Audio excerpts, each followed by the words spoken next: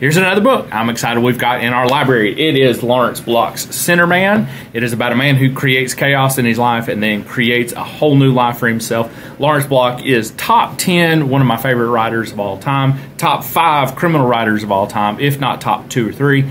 Uh, he's known for a Walk Among Tombstone that stars Liam Neeson as well, and turned into a movie. So take a look.